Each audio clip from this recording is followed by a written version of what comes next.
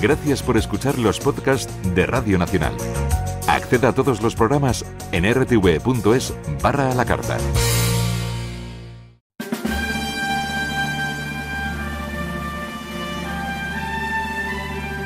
Clarín, informativo taurino de Radio 5, Radio Nacional de España.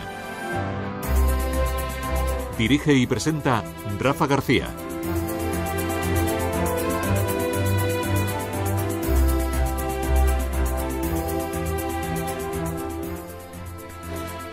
Hola, buenas noches, bienvenidos a Clarín, el mítico programa taurino de Radio Nacional de España.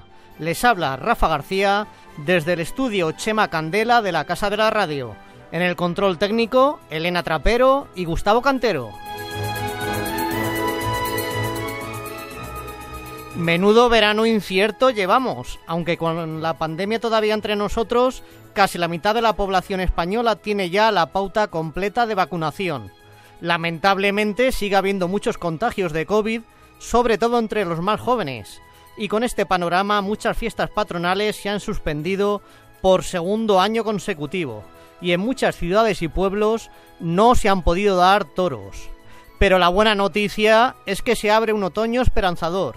Sevilla ha sido la primera en dar un paso adelante al confirmar sus carteles para la Feria de San Miguel, que se celebrará del 18 de septiembre al 3 de octubre con nada más y nada menos que 14 festejos.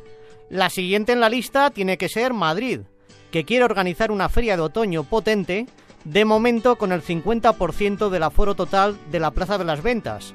Es decir, eh, estamos hablando de unos 12.000 espectadores.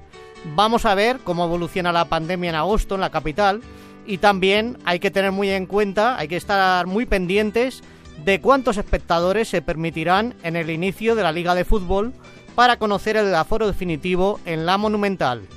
Ojalá se unan otras grandes ciudades a Madrid y Sevilla. Desde luego sería el mejor antídoto para ir recuperando poco a poco la ansiada normalidad. Eh, por cierto, desde aquí queremos dedicar un gran aplauso a otras ciudades quizás no con tanta repercusión, pero que están haciendo esfuerzos para dar toros en julio y agosto. Por ejemplo, Santander, Gijón, Jerez de la Frontera, Málaga, Huelva y Cuenca. Sus empresarios están siendo valientes y atrevidos, incluso a riesgo de sufrir pérdidas económicas. Sus gestos seguramente van a quedar para la historia y merecen todos nuestros respetos.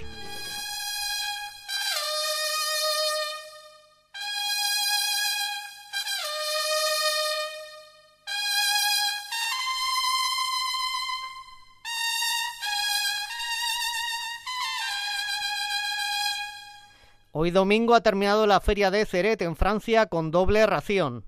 Por la mañana el gaditano Francisco Montero se ha enfrentado en solitario a seis novillos de las prestigiosas ganaderías de Jonet, Saltillo, Concha y Sierra, Dolores Aguirre, Barcial y Los Maños. Desde luego una apuesta de alto riesgo y muy valiente, pero finalmente Montero se ha ido de vacío.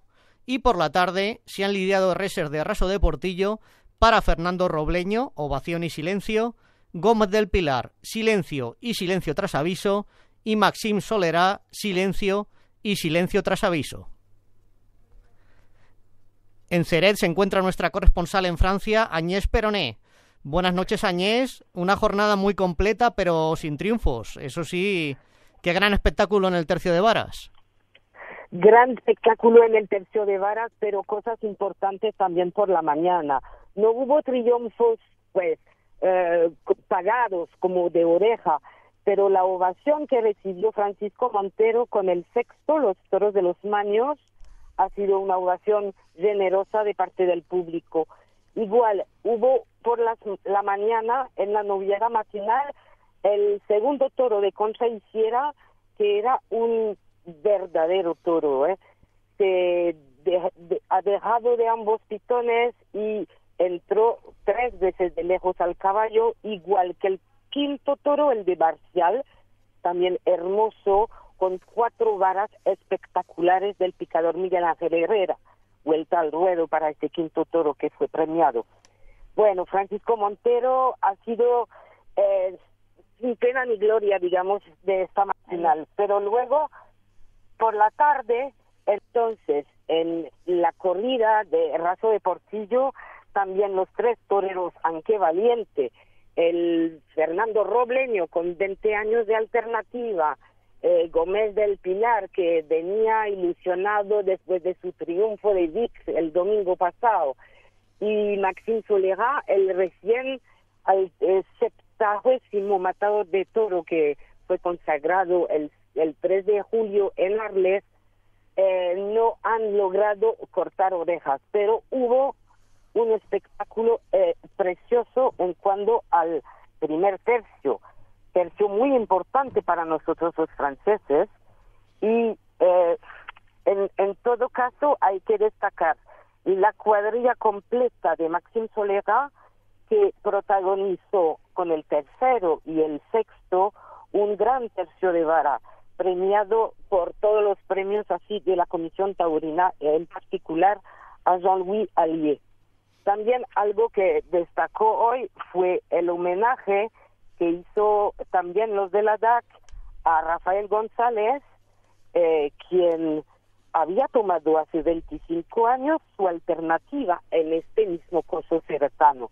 Así que hubo emociones, los de Santa Coloma, de Razo de Portillo, eran preciosos, estampas también muy armados, asesinos, veletos, playeros, eh, peligro en la plaza y el mérito de los tres toreros es importante como, como siempre cualquier torero que viene aquí en Terceret.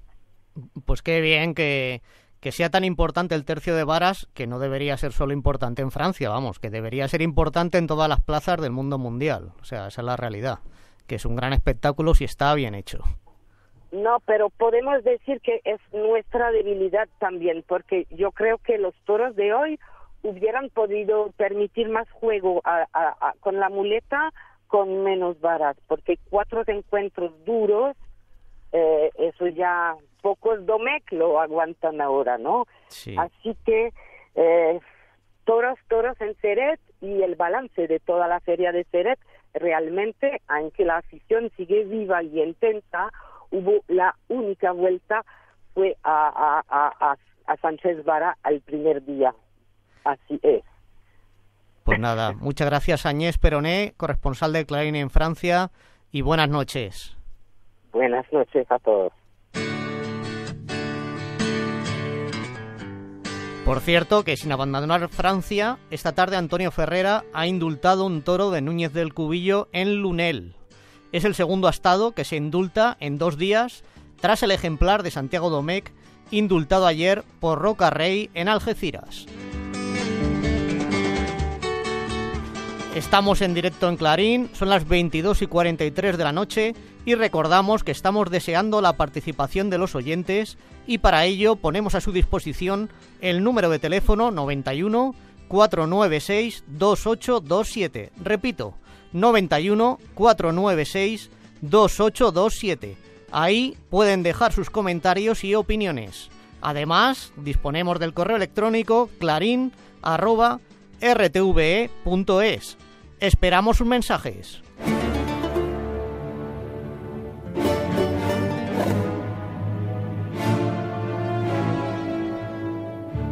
Clarín.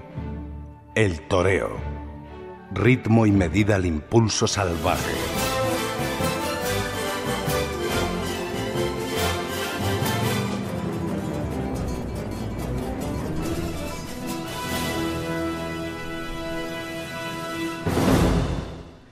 En este verano tan atípico, algo está pasando en el escalafón de matadores. Eh, lo digo por Morante de la Puebla, que está marcando ciertas diferencias respecto a lo previsible en los toreros de su estatus.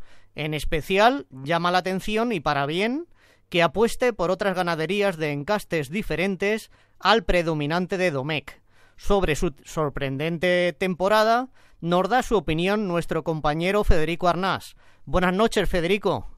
Buenas noches, Rafa. A un año de cumplir las bodas de plata como matador de toros, el tiempo lejos de conducirle por los caminos de la dosificación, de esperar un tipo de toro con el que fundirse para vivir de faenas contadas y cantadas, resulta que además de encabezar el escalafón y demostrar hallarse en plenitud, se ha abierto a salir de la zona de confort para pasar a anunciarse con otras ganaderías que no sean las más contrastadas en las que ha sustentado su carrera.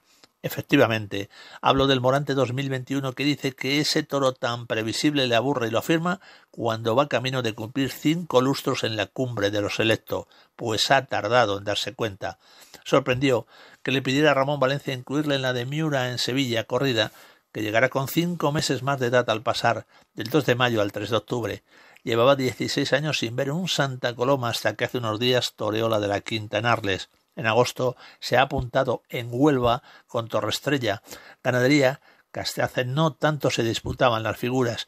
Va a meterse con seis veraguas de Prieto de la Cal en el puerto de Santa María Hierro, que fue de los preferidos en su tiempo por Luis Miguel Dominguín, entre otros, y ha tenido el buen gusto de apostar por los la Vega Villar de Francisco Galache en el septiembre salmantino y reverdecer así la fama de los sesenta, cuando los toreros con más poder la imponían en citas de la importancia de San Isidro.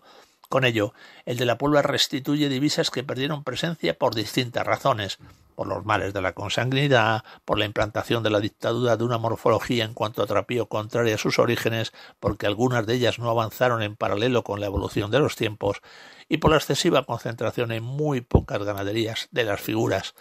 Amorante le sobra sabiduría para aplicar recetas ante toros cuyos comportamientos tienen las singularidades de lo diferente.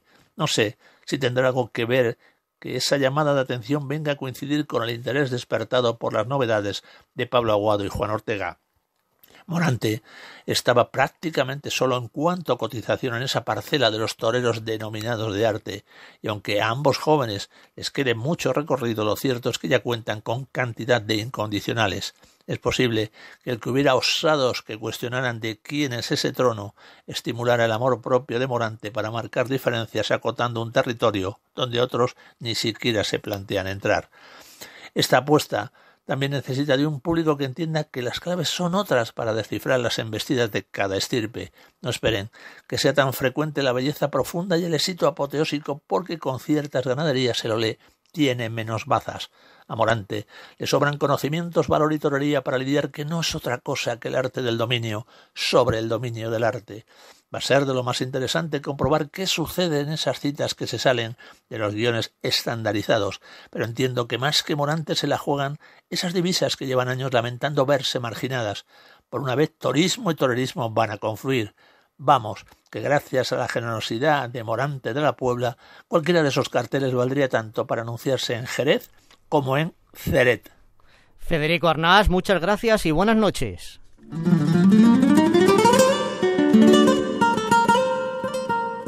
Clarín, el torero, valor e inteligencia.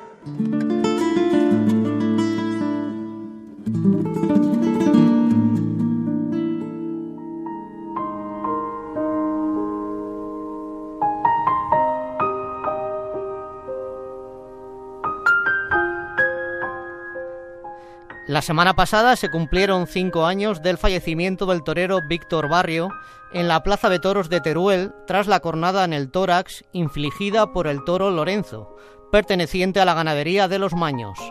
A partir de entonces, Víctor Barrio se convirtió en leyenda y siempre estará en los corazones de todos los que amamos el mundo de la tauromaquia.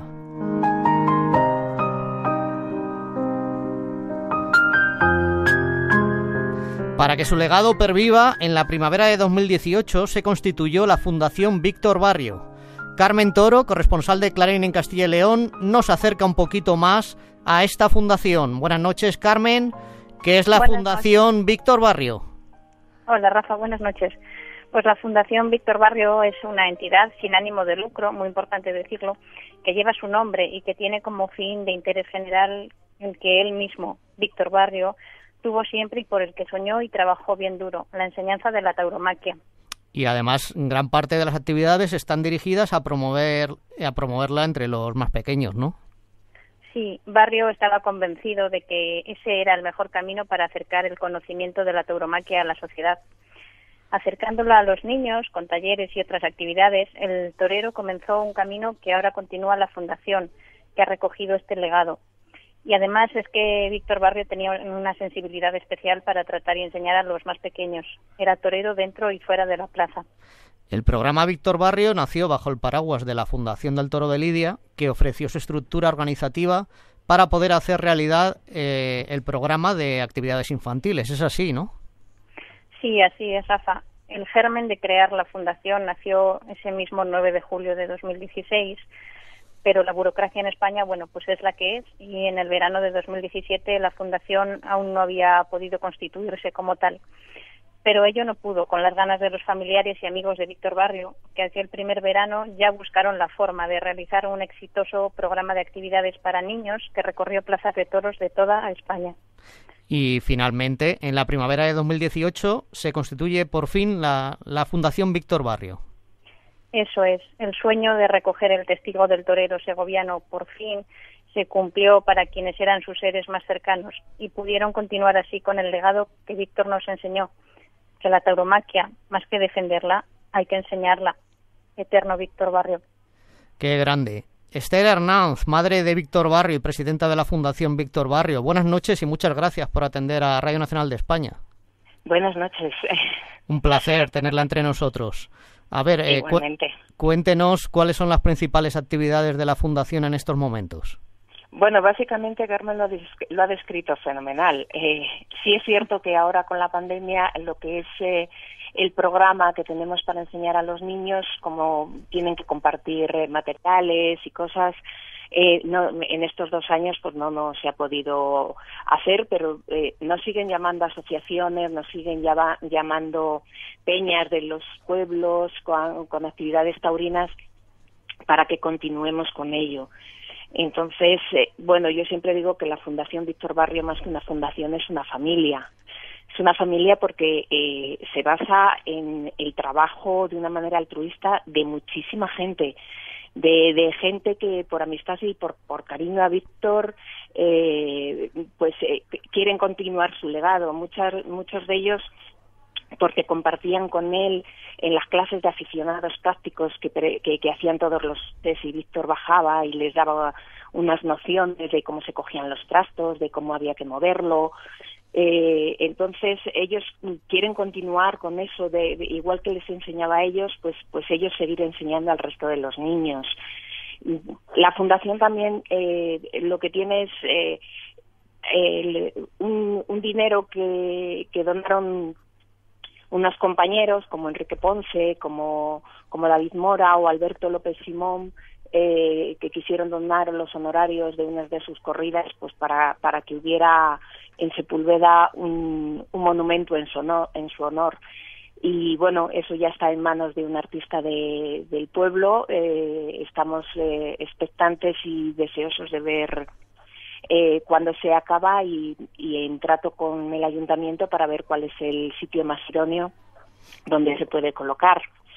Y después está el memorial, el memorial que, que han hecho todos los años los chicos en memoria de él, hacen una corrida, lo más eh, procuran que sea lo más altruista posible, sin idea de ganar nada, al, al revés, sabes que en esto siempre mm, acaba uno oponiendo, pero siempre con la idea de recordarle, de recordarle y que siga vivo entre nosotros. Sí, ¿va a haber este año memorial, Esther?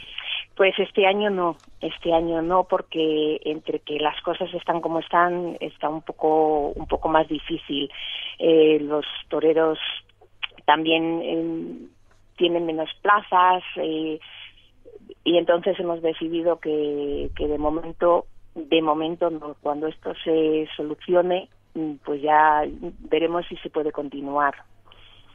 Estupendo. Y me imagino que el programa volverá en 2022, ¿no? A visitar eh, sí, incluso, incluso a lo mejor antes, siempre y cuando las cosas se mejoren un poquito, porque nos llamaron este año para ir a, a Vista Alegre cuando estuvieron las, las corridas, pero es verdad que, que por motivos de, de precaución, de que no teníamos los espacios suficientes para podernos separar y, y había que, dividir mucho más los materiales, se nos hacía algo más complicado, pero sí es verdad que hay varias asociaciones y varias peñas que siguen en contacto con nosotros para ver si hubiera posibilidad este año todavía de poder hacer algún evento en algún lado para, para que se para que pudiera continuar. Esther Arnaz, madre de Víctor Barrio y presidenta de su fundación, muchas gracias de verdad por atender a la radio pública y buenas noches. gracias a vosotros por darnos visibilidad. Muchísimas gracias.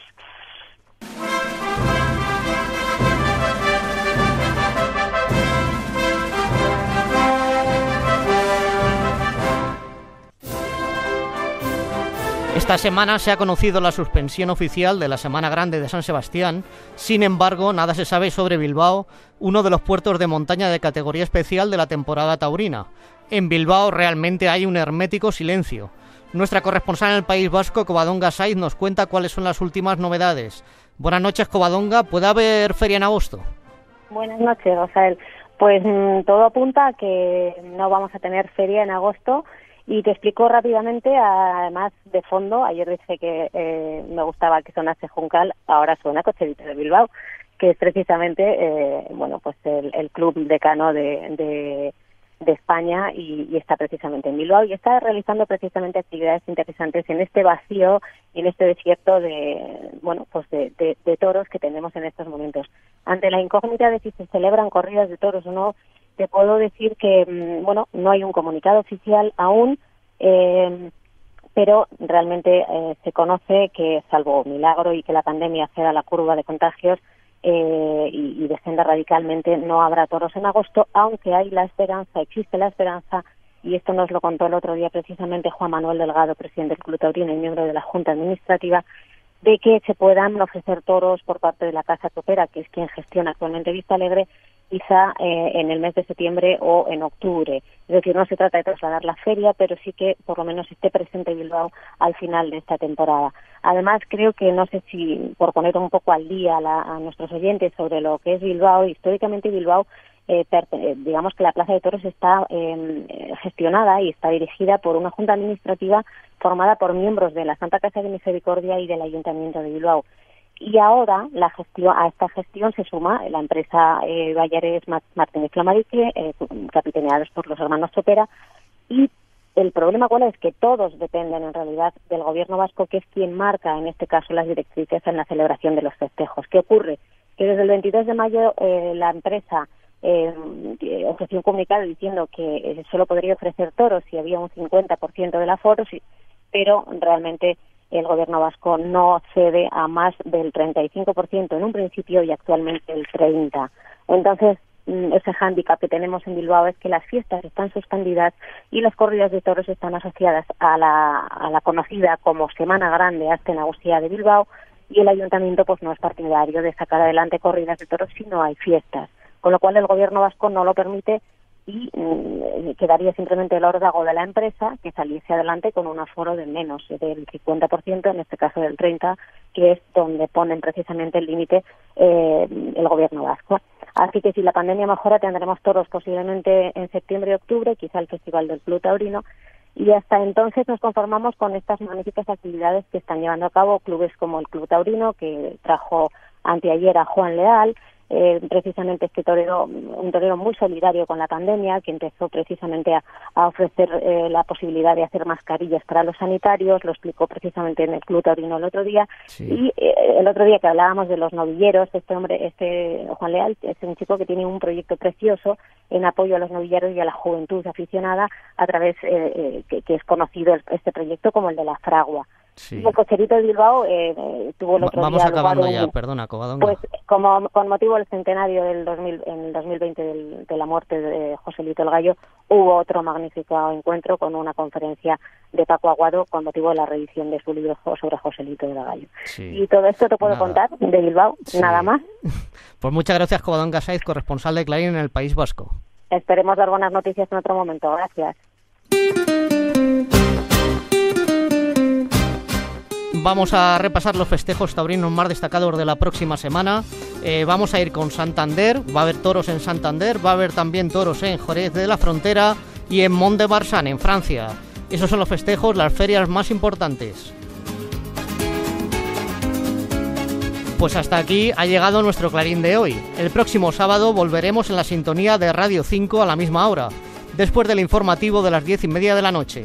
Entre tanto, no se pierdan el próximo sábado el programa Tendido Cero en la 2 de Televisión Española a las 2 y cuarto de la tarde. Muchas gracias por su atención y buena semana.